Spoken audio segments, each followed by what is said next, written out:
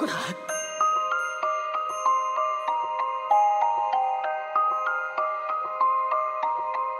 Think of this as a gift, so I will allow you to know now. What you witnessed and felt was your future self laid bare. I obliterated time, then leapt beyond it. It doesn't matter who it is. I shall never allow any cretin to threaten my eternal transcendence. Not ever. JoJo's Bizarre Adventure is known for a lot of things. The over-the-top nature, the odd humor, or in the case of this video, its villains. A lot of JoJo's rogues gallery are some of the more iconic villains in anime, whether it be the vampire who's obsessed with the JoJo family, the serial killer who's obsessed with hands, or even the President of the United States of America. Never been proud to be an American. Yes, I will talk about the president one day. Your comments have not been ignored. But today we're talking about one of the more overlooked villains of JoJo's Bizarre Adventure, Diavolo of Part 5.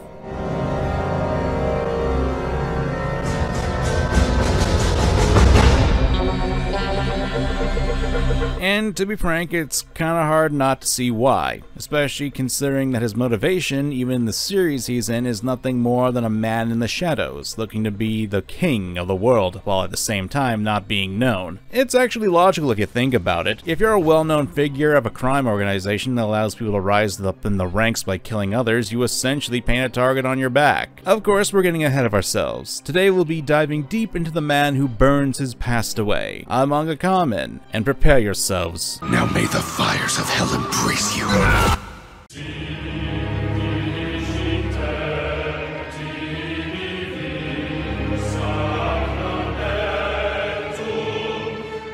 When you talk about JoJo villains, there's a lot you can glean from the characters, especially when we look at how Araki develops them. With Yoshikage Kira, he had elements of David Bowie for the design and elements of serial killers that Araki had researched. Dio was more or less inspired to be one of the worst villains of all time, not poorly written mind you, but to be an evil bastard that the audience would love to hate. But for Diavolo, well, as much as I could, I couldn't find a lot of information on the development of Diavolo.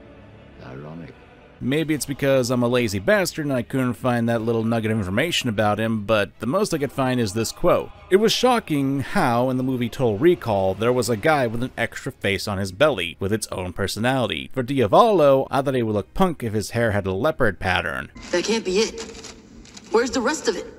I like Total Recall as much as the next guy, but in all honesty, I really can't stretch that out for a good five minutes with this segment, so we'll do the next best thing. We'll establish who Diavolo is. Diavolo is the main antagonist of JoJo Part 5, the boss of the Passion, the mafia that has its hands in several different kinds of crimes across Italy. He's also the founder of this organization, and it's an organization that specializes in secrecy, since if they were out in the open, that would make them targets of assassination and law enforcement. Considering that Diavolo was a man who values his privacy to an extreme manner, even to the point that he uses an actual alternate personality that causes physical changes, this works. It's actually an interesting thought process, since if you consider the nature of crimes and by extent the mafia, working in the shadows and hiding your own power from prying eyes of authority makes sense with Diavolo's paranoia. Throw in the fact that the Passione has several stand users, of which their abilities cannot be seen by regular people, you can easily have your crimes be committed with your stand and most people wouldn't be none the wiser. I mean, even if a guy did explode outwards with a car. Our protagonist, Giorno Giovanna, does that in the opening of part 5. So there is potential, and if we look towards the villains previously in JoJo, Diavolo actually continues a trend. If you really consider the actions and conditions for each of the villains of previous parts, they had a reason or another to hide at one point.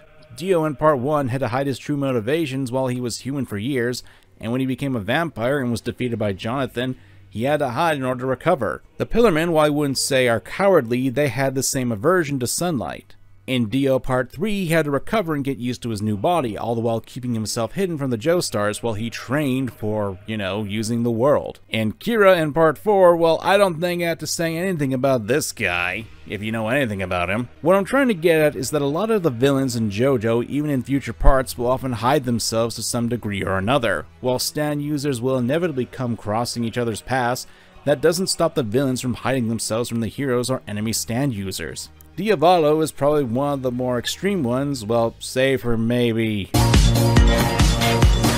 I don't get it. But that's probably for another video at another time. We're talking about the man who was willing to go so far to protect his identity that he was willing to kill his only daughter so people couldn't trace him from her. Man, this should have been the video with the surf shark ad so I can make a joke about not having to pay such a heavy price so you could hide your identity. God, I'm such an idiot. Regardless of your narrator's intelligence level, I will fully admit that Diavolo is not exactly the most discussed of villains mainly due to the fact that his character is to be a mystery. That's the point, of a man whose goal is to not exist in the mind of others but controlling the world of crime from the shadows. In a sense, Diavolo's motivation is actually similar to that of Kira's, to indulge in his vice and not have a worry in the world because of it. It's a shame since the aspect of mystery of Diavolo is extremely dangerous. In comparison to Dio and Kira, with Dio, we and the heroes know exactly who Dio is but the true measure of his abilities were what made the Joestar Egyptian tour group wary of Dio and try to hurry up to kill him when they were in his lair. In contrast with Kira, while we the audience know his abilities and when he adopts a new identity, we are aware of what he looks like, the Morioh group doesn't know this. Diavolo is actually a combination of both those mysterious elements, where we as the audience and the characters don't know what he looks like or what his abilities are, at least not until it's too late. Even after we see his abilities, we still don't know exactly who Diavolo is. Although the Doppio scenes do kind of give away that something isn't quite right. God, what a freak. Yeah, we'll be talking a little bit about Doppio in this too. I mean, the two are essentially two sides of the same coin. However, we as the audience do get to learn more about the character, about how his birth was nearly impossible, about how he was born in an all-female prison with no father of a two-year pregnancy. Not that it really matters in the grand scheme of things in the overall plot of JoJo, when he was 19 he had faked his own death, all the while killing a few other people in the process. What'd he do after that? Well, he decided to go to Egypt for some reason to join excavation. Well, he was the one who did find the arrowheads that allow people to gain the power of stands, selling most of them, save for one, for great money, and then formed the Passion when he returned to Italy. It's not really a lot to be learned about Diavolo, at least with the official material. There's a lot of fan theories, but as we stated on this channel multiple times, theories are just theories. Nothing more, nothing less. But for now, we'll be referring to what makes Diavolo to be a threat. Think for a moment. Is anyone worthier? Can you name even one person? You know that I alone am worthy of becoming king.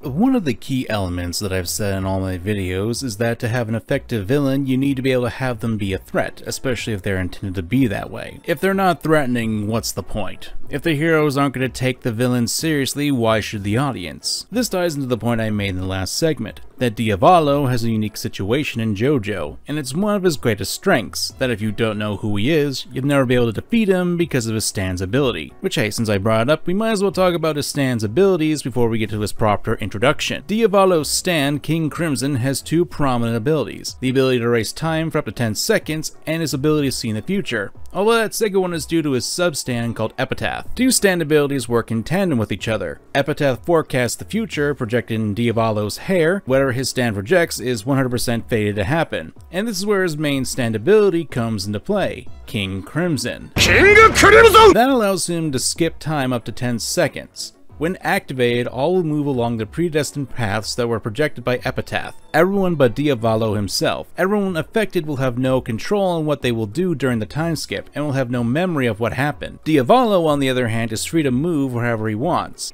In return, he cannot interact with anything. He essentially phases through it, and anything he interacts with will ignore him. He's immune from physical attacks and cannot attack anyone during the time skip. In that case, he basically just repositions himself for strategic purposes. The best example would when he's fighting Bucciarati since he was able to keep himself hidden from view with only his stand actually being fully visible to the character and the audience at the time. And this power actually works extremely well with a character like Diavolo. Diavolo's nature is that of a paranoid person, and one of the aspects of paranoia is the anticipatory fear of the unknown.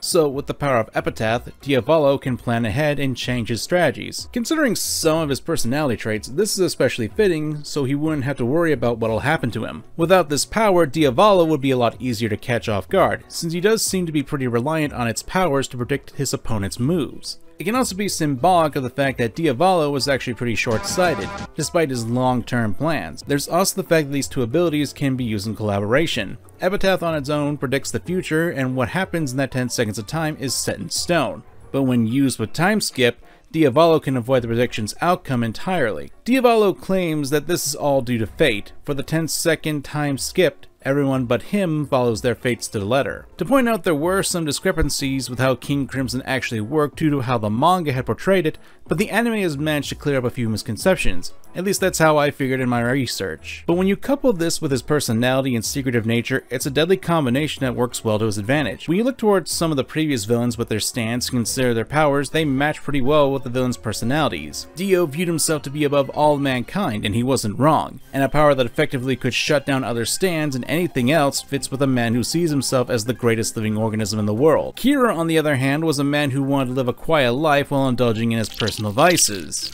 As such, Killer Queen had the ability to create bombs in secret as well as remove any sort of trace of who Kira really was. Diavolo was in the same vein with his powers, which not only allowed him to see into the future, but also properly plan for it, so he could effectively keep his identity secret. To be fair, Diavolo is quite the coward. He believes that the past, no matter how insignificant it may seem, can be used against someone. As such, he does everything he can to protect his identity and preserve his anonymity, including trying to kill his own child. It's because of this cowardice and paranoia that spurs Diavolo into becoming frantic. It's almost like a cornered animal, and because of that desperation, they will lash out worse than you would think. It's why when the Hitman team, when they asked for territory and a raise, Diavolo turned them down. They began to search for his information. One of their members, Sorbet, was sliced up alive and the other Gelato committed suicide. By sending this message, Sorbet's body was frozen in formaldehyde and framed, sent to the Hitman team. Truly a gruesome message. It should be noted that Diavolo actually managed to get quite a few kills due to his short-sighted tactics however. He managed to kill Bucciarati, Abbacchio, and Narancia. In addition to Polnareff, if you want to throw in Doppio, he defeated Rossetto, technically. There's a lot to be said about Diavolo's abilities, but then there's also Doppio, a second skin as it were, which is a fictional version of DID, dissociative identity disorder, or as some people like to view it a long time ago, multiple personalities. I need to make it clear that it's a fictional version of this, since I'm pretty sure DID doesn't change a person's height and body type. Now, I'm not here to talk about if it's a proper representation of the disorder. I'm pretty sure that the source that Araki used for the story was outdated anyway, so you can't really look for much realism, especially with the inclusion of the physical changes when alters change. I'm pretty sure this isn't a symptom of a disorder. I just want to make it clear I'm not a psychologist, nor is this the point of the video, so please don't get in my case for that. Instead, the fact is that he has an alternate personality to use to his advantage. Since Doppio tends to be a really loyal person to Diavolo, the mob boss can use another skin to walk around in the day. Hell, the fact that Doppio seems more innocent as a character also plays into that, since people often view that as someone who couldn't possibly be related to the boss and yet Abbacchio faced that same challenge. So there's a lot of potential for Diavolo to be a villain and utilize his abilities to do so. However, like a lot of villains, he has his own weaknesses, and that comes from his... What are all these dragons made of metal? There is a recurring element in JoJo, and that is fate. There are many characters in the series of JoJo that will often reference fate such as no matter how strong or weak, all stand users are destined to meet one another. That's a fact. Diavolo is no different. It's an obsession of his, where he believes that it guides his life and that fate can control the action of all things, and that he is the one who can control that. Consider, if you will, that there are fortune tellers within the story of JoJo's Bizarre Adventure, and oftentimes they are considered to be a lot more credible in the world of JoJo. And as we've stated in the last part, one of Diavolo's powers is that he can see about 10 seconds into the future. And there are multiple times where Diavolo will say that it's his fate, or that he's assured of his victory. But it's not defeat. It may not be now, but victory will be mine. I'm coming to crush your skull properly this time, as fate ordained. The future can only hold one of us, and it has chosen me. But considering my last line in the previous section, this raises a question. This is a weakness? Well, yeah. Every one of the villains in JoJo has a weakness, and oftentimes it has to do with their own personality quirks, and it comes from egotism as well. Dio and Kars believed that they were the greatest creatures in the world, Kira shouted his name when he believed that he had conquered his enemies, and later on Pucci would believe that his ability to predict all actions that would happen led him to his death at the hands of a stand that had almost once defeated him before. Diavolo is no different, as his arrogance and belief in his ability to accept what fate sets before him unironically caused him to make some very serious mistakes. Let's take for example the arrows. One could argue that it was fate that guided Diavolo to find the arrows that he sold all but one, and then he gave that one to one of his lackeys to create new stand use. Why is this an issue? It plays into Diavolo's short-sightedness. Without thinking on testing them beyond getting a stand and recruits because of this later on, this decision would create a stand that would defeat him and his attempts to go back on that decision in the last part of the fight would lead to his final defeat. He already had the arrow in his hands many years ago, but due to him wanting to get results immediately, it cost them the possibility to get a greater power. The Hitman team merely asked for a raise in some territory, something that pretty much every other team in the Passione had, and Diavolo said no. And while killing Sorbet and Gelato sent a clear message to not search for his identity, simply trying to work with a very competent, effective, and dangerous assassin team would have been a much better compromise and would have netted him a stronger and more loyal team. Instead of waiting for Trish to be delivered to him, as was the plan, and when Bucciarati's gone, Diavolo could kill Trish on his own time. The mob boss just decides to snatch her away from Bucciarati at the last second. Sure, Diavolo does have the power to kill Bucciarati, and does so. It saved him a headache, however, especially when he's well aware of Bucciarati's nature and skill as a stand user, as well as pretty much everyone else who's outside the building. I gloved up. There are a number of other things that we have to consider with this, but these are some of the bigger issues of Diavolo's short-sightedness, and it goes into play with his fatal character flaw, how he's willing to get short-term success without considering the long-term ramifications of his decision. Now, am I saying this makes him a bad villain? No. No, I am not. Just because a villain makes mistakes like these, that doesn't mean that they're a bad character. The fact that a lot of these issues stem from Diavolo's paranoia add to his humanization. While his motivations for starting the Passione are exactly clear, we do need to consider that before he went to Egypt, he did effectively destroy his identity and lit a town on fire because of it. So ever since then, the shadow of paranoia of someone possibly discovering him and his crimes could be considered to be clawing at his back. That's understandable when you consider that Diavolo didn't just go for the short-term wins, and had thought out his situations more, he'd probably be a lot more successful as a villain. Then again, if we looked at any of the villains and point out their flaws in hindsight, and as an outside third party who isn't actually part of the story, anyone can make these observations. Hell, one could easily argue that there was a great risk to testing the arrow on a stand, since not every person who gets stabbed with the arrow becomes a stand user. Some of them die, or it wouldn't even be possible to do so considering that stands aren't exactly made of physical material.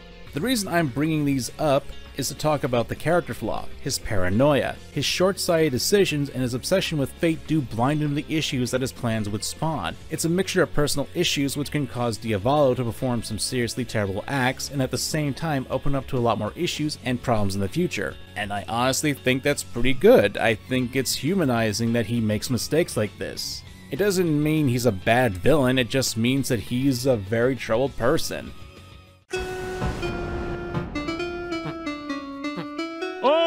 I get it. I get jokes. When I make my videos talking about villains, one of my favorite parts is when I make a comparison to the protagonists of their series, and if they act as a good foil. Because when you look towards a hero, you need to look towards their villain or antagonist as well, since the point of a hero is to have them challenged in the story, not just physically, not just through combat, but also through characterization. We love to watch heroes overcome the challenges thrown towards them, and villains are a great way of doing that. JoJo is a bit of a different beast when it comes to the style of hero's journey, especially when it comes to its protagonists. A good portion of the time, while the heroes are challenged in fights and such, there isn't really great development cycle for the characters to grow, at least a good portion of the time. I do not want to come off as if I'm generalizing the entire work in that regard, because there's a lot of development for many characters, but in part 5, part of the reason why Giorno to shine as a protagonist is because he's so gung-ho about his goal about becoming a gangstar. If you're not familiar with Giorno's backstory, the kid didn't really have a happy childhood. He was neglected by his mother, abused by his second father, was bullied relentlessly for being a foreigner, oh, and was the son of Dio.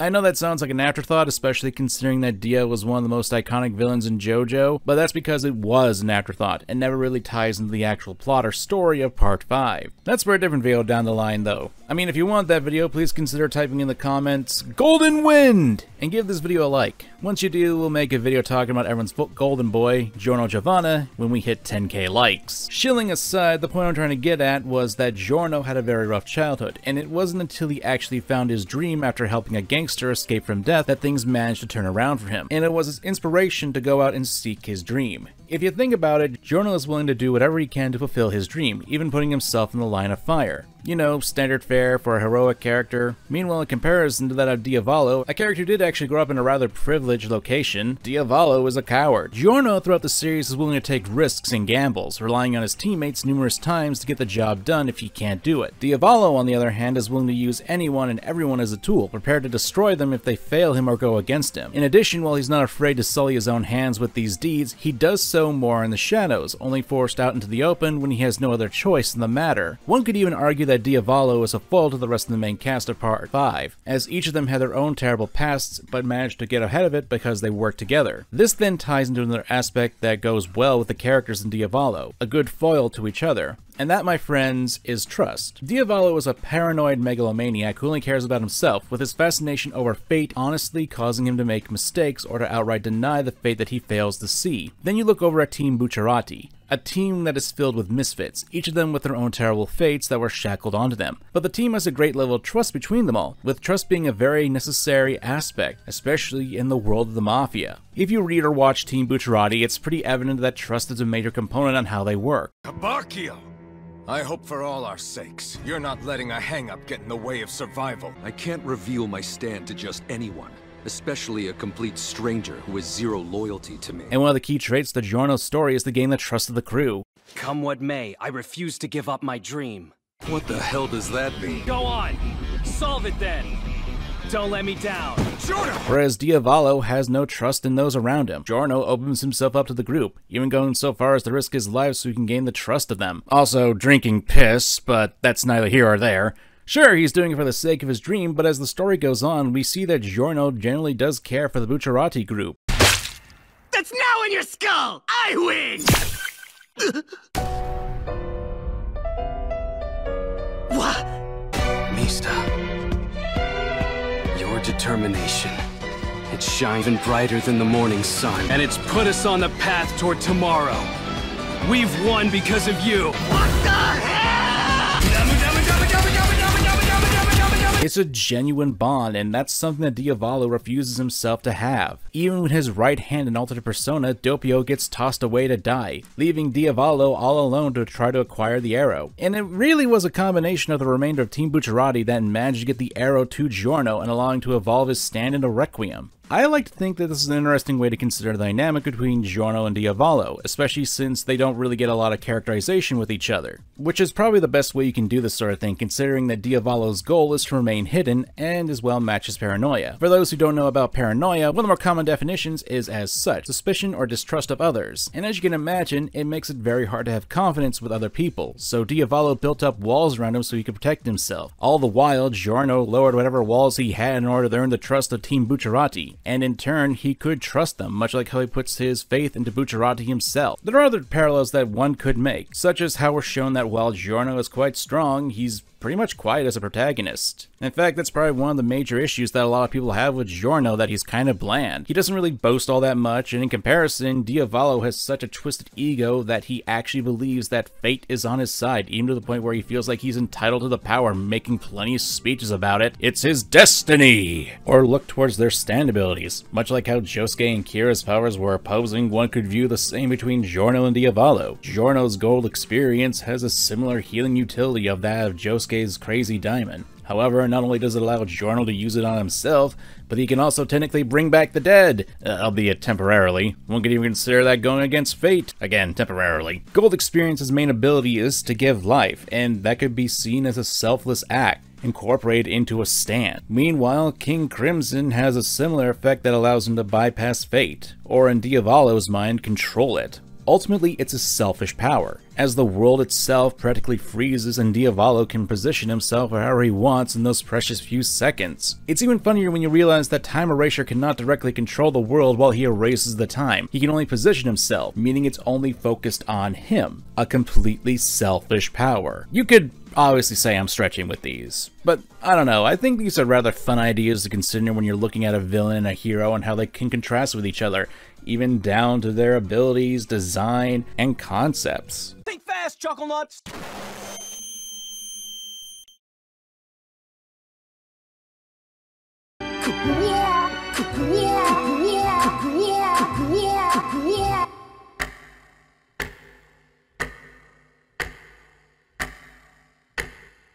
Diavolo was a contentious villain, and it's mostly due to his mysterious nature. On one hand, the concept of a villain so powerful that he hides his presence from everyone and he could potentially be the person next to you is an element that even the part played with. Rice Pirate!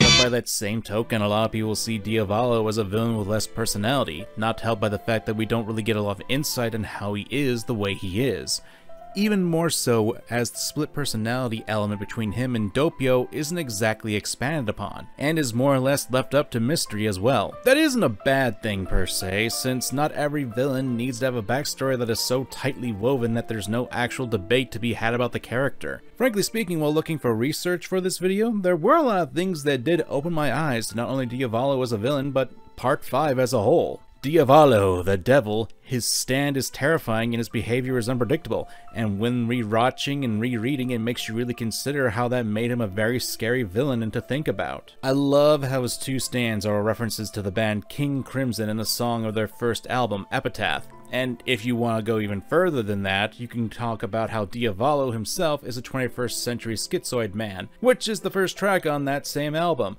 Oh, Rocky, your musical references never cease to amaze me. There is a lot to talk about with the villains of JoJo's Bizarre Adventure, and I'm glad people are at the very least enjoying the videos that I talk about them. So, I guess the only thing I can say now is, I'm Manga and thanks for watching, and arrivederci!